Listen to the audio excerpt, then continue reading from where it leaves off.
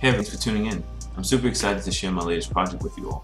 This is an environment design tutorial that is packed with 6 lecture videos coupled with my M16 harvester scene. You will have full access to the environment that was built modularly utilizing Unreal 4. I use this environment to explore several design principles that I feel are essential to a successful and immersive environment. I wanted to share my thoughts and ideas of how I approach environment design to create a compelling experience.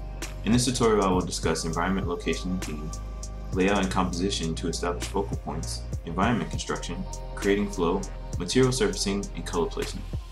Last but not least, I want to explore lighting and post-process. I'm super excited to share this with you all, and I want to thank you guys for your support.